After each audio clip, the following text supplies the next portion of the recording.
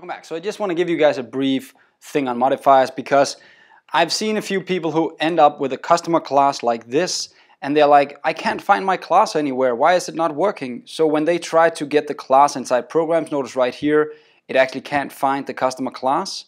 It's not available anymore. And the reason is, if you go back to the custom right here, if you do not declare access modifier right here, then automatically the modifier is actually internal. So that means that this class is fully available, but only inside the current project right here.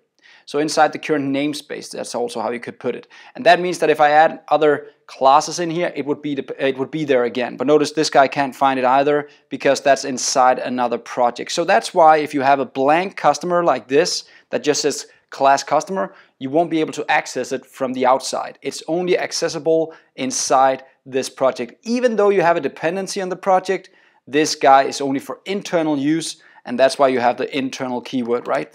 It's only for internal use in the current pro uh, project.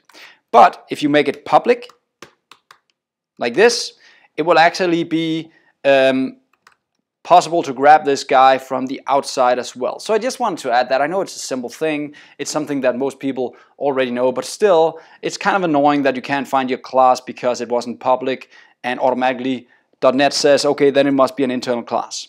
The other thing is, of course, the other guys down here, we're making them public here as well. They can also be internal if it's something that we only want accessible inside the current project. They could also be um, private if it's something we only want inside the current class.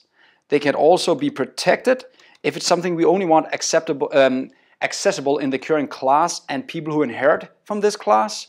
So those are actually the four modifiers that you'll end up using in a program and of course, the reason we want to use them is to make our program um, as we, we want each class to be its own little uh, unit and we only want to share stuff with the outside world if we want to share it, right? So we'll always encapsulate things using these different modifiers. So that's modifiers for you. It's very simple, but I've just seen this happen so many times. I just wanted to add it.